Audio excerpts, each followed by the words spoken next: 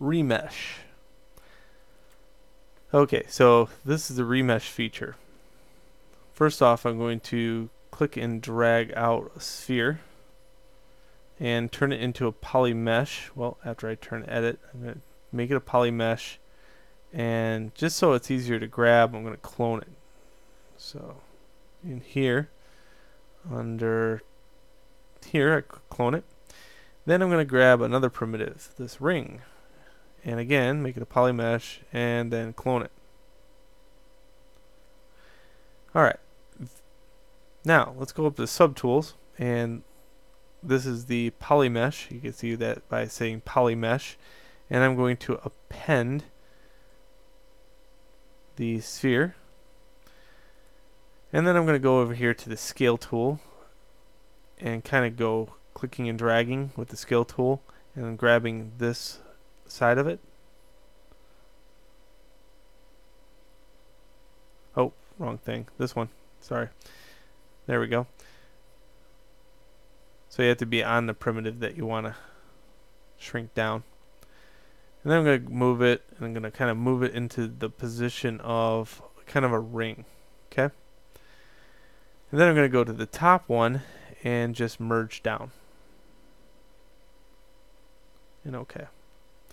So I got this. Very interesting. Well, they got this little feature called remesh. Let me go kind of go explain how this works. This is two separate objects, okay? They're actually just two separate objects combined together. You can tear them apart if you wanted to. No problem whatsoever.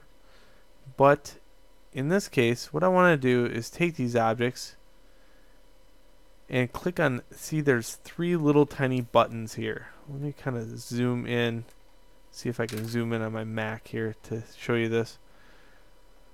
X, Y, and Z. They're so small that I'd never even know they were there.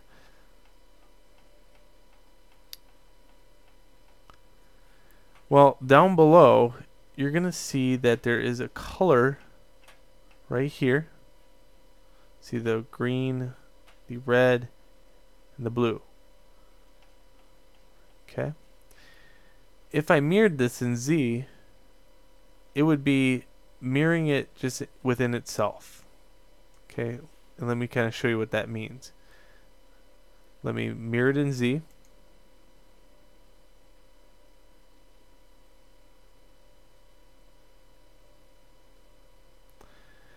And not much happened, but really it did. Let's take this object, which consists of two objects, and let's look at the other one. The other one now is made of a whole object.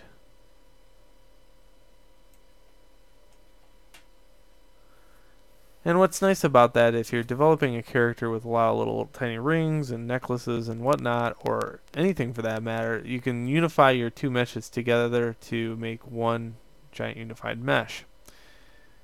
And they're very easy to sculpt across. Where the other one, if I go to sculpt across this, it looks weird. Okay?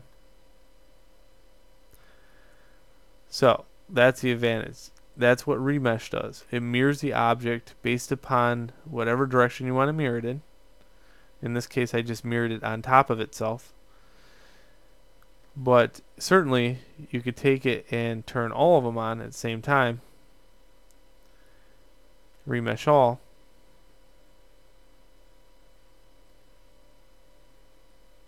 And produce some really screwy looking shapes.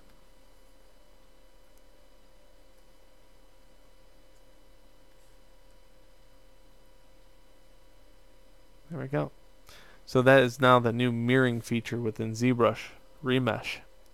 Enjoy. On to the next video.